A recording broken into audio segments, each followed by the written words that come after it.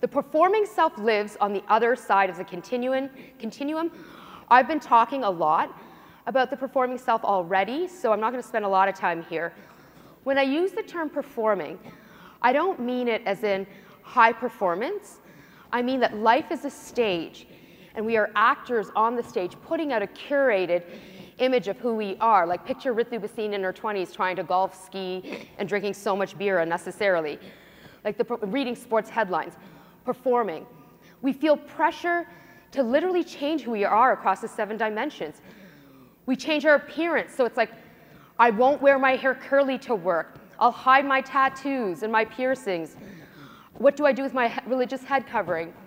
We change the way we speak, like we literally sanitize our accents, anglicize our accents, or we, we change our diction. So it's like, I have my Spanglish or my Hinglish or my Ebonics or my uh, mashup of pirate speak, which is cussing, which is one of my favorite things to do. More on that in a moment, stay tuned.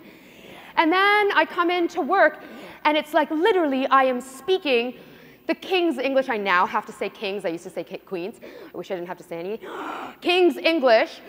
And I'm speaking in this very proper form and so that people think that I am so smart and educated and elite and almost to the point where I am pedantic in how I'm speaking. And then afterwards, I go home at the end of the night and I'm like, oh my God, bleep.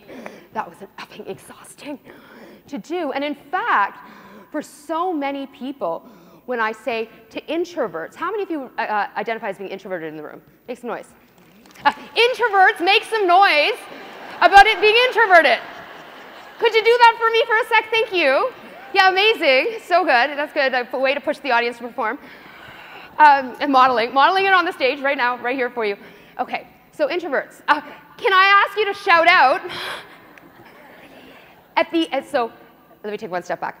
I fundamentally believe, as an extrovert, did you pick that up? That workplace cultures across industries in Canada have a strong preference in favor of extroversion over introversion. Are you with me? Okay. Now, and introverts feel tremendous pressure to perform as extroverts all day long. Are you with me?